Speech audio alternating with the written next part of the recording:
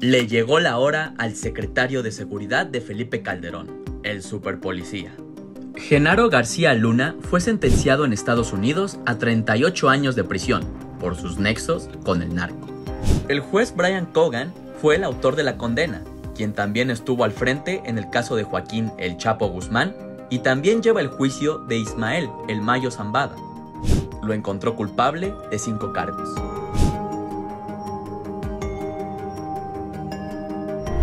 García Luna fue detenido por agentes de la DEA el 9 de diciembre de 2019 en su domicilio de Irving, Texas, porque Estados Unidos lo acusa de cinco delitos.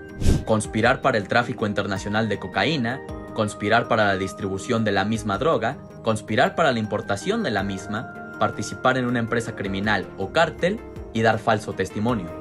¿Y a favor de quién? Del cártel de Sinaloa. El 21 de febrero de 2023, un jurado civil encontró culpable a García Luna de los cinco cargos. Sin embargo, aún faltaba el tiempo que pasaría en prisión, 20 años mínimo hasta cadena perpetua.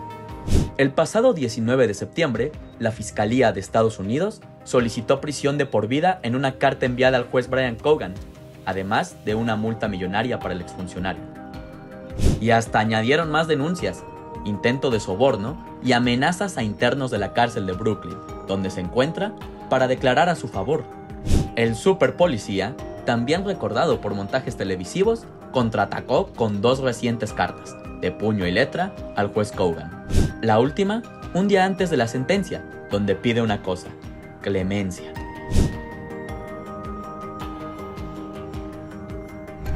Fue en el sexenio de Felipe Calderón donde tomó su fama.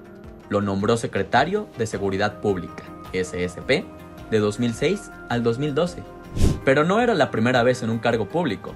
Con Vicente Fox, era el titular de la ahora extinta Agencia Federal de Investigación.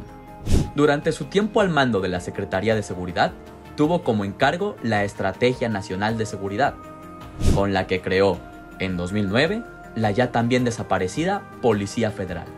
Fue el rostro público durante la guerra contra el narco, que según la periodista Anabel Hernández, fue más una estrategia para combatir a enemigos del cártel de Sinaloa, de quien después se volvió cómplice.